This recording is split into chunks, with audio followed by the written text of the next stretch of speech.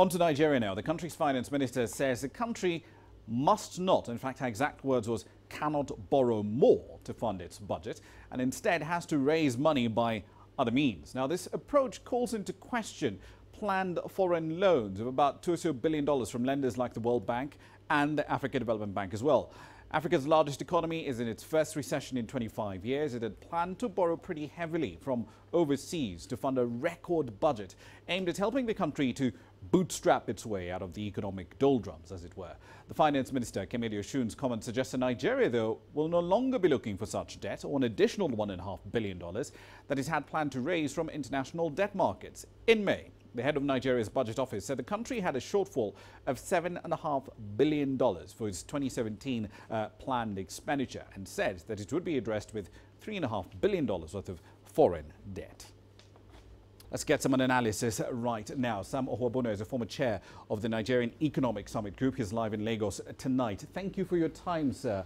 Um, tell us, what is Nigeria's current debt limit and how close is it to actually hitting that level?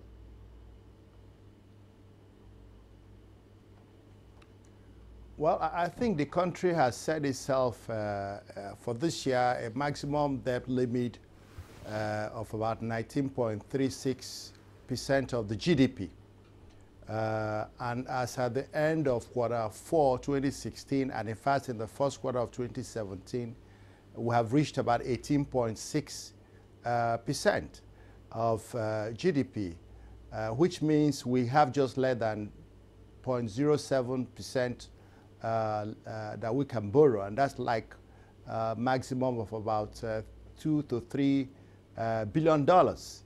That's the maximum, and I'm sure some of the borrowing in, in process that haven't hit the the balance sheet uh, must have brought us close to reaching that limit. So uh, that's, that's perhaps why we have to put the brakes uh, on borrowing. Uh, indeed. Yeah, so given the finance minister's comments, I mean, this would suggest that the talks with the World Bank and the African Development Bank, those are completely off the table now, aren't they?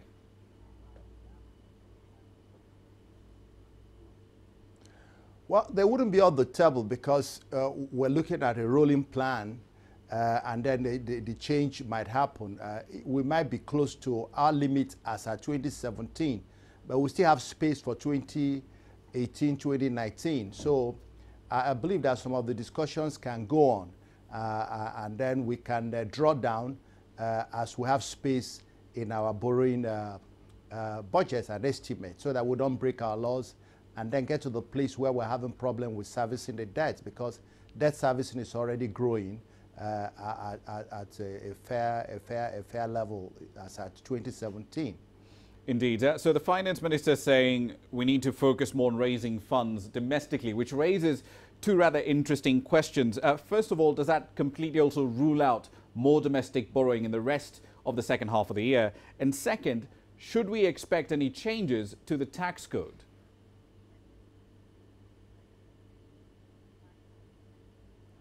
Well, I think that the government is looking at the totality of uh, options open to it uh, it suddenly found, by perhaps after doing a proper arithmetic at the end of quarter one, that the window for borrowing is, uh, it's, it's, it's, it's, it's not broad. Uh, and what is more, uh, domestic borrowing is about three times external borrowing. And, and that is large uh, and, and crowding out um, the private sector. So the government is looking at other sources, and one source they are putting a lot of effort is on internally generated revenue through taxation, widening the tax net, getting more people voluntarily uh, getting, because our tax um, today, tax to GDP rate of about 6% uh, is famous, has been one of the lowest in the world. And therefore, this is where there's an opportunity. So there's an effort to grant what they call amnesty to those who have their uh, you know, uh, uh, failed to meet their tax obligations in the past and offer them some kind of face paying plan so that many more people can come on, on bid. The government is focusing on this to generate revenue and so as to reduce uh, the tax liability. Indeed. One last question I mean, for you, uh, Sorry, the borrowing liability. Right. Let, let's, let's, let's wrap this up, though. So with no more borrowing being in the pipeline for the rest of the year, should we expect any spending cuts to come?